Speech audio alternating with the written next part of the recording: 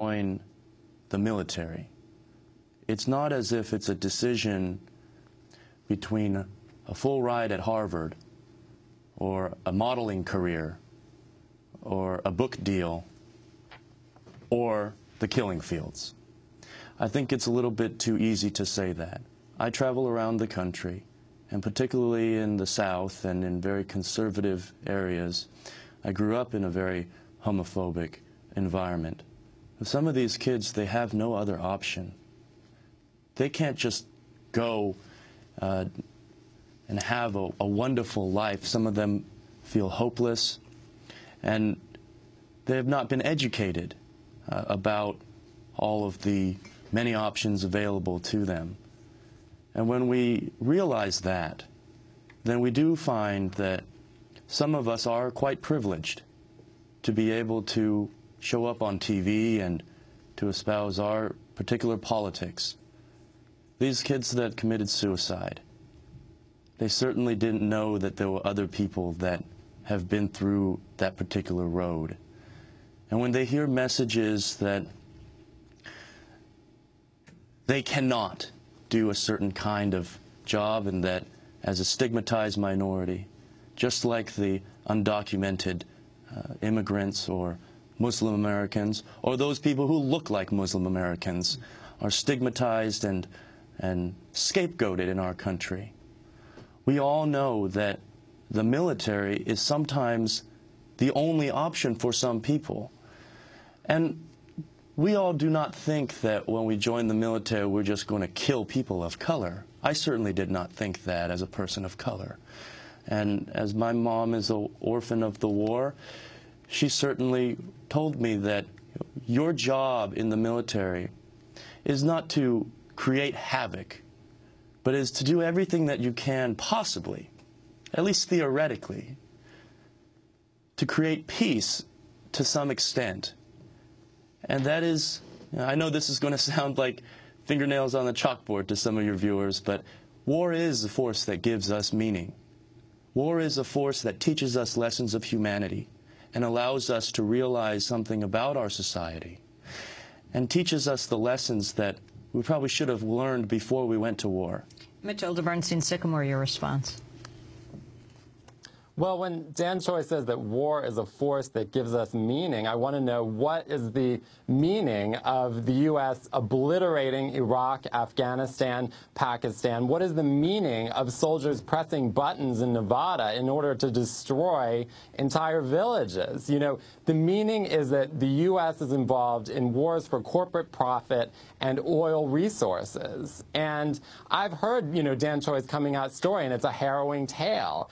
And as queers, you know, most of us grow up in a world that wants us to die or disappear. And I think we see that with the coverage of the epidemic of teen suicides. So we shouldn't be telling queer teens, oh, when you grow up, you can become part of the same system that's destroying not only your life, but the lives of everyone in the world. We need to be fighting for universal access to basic needs, things like housing and health care and the right to stay in this country or leave if you want to. We need to be fighting for comprehensive sex education, for AIDS health care, for senior care, for safe houses for queer youth to escape abusive families. And the problem with all this attention on the war machine, all this support for you know soldiers to serve openly in unjust wars. The problem is that the military is what's taking away the ability to fund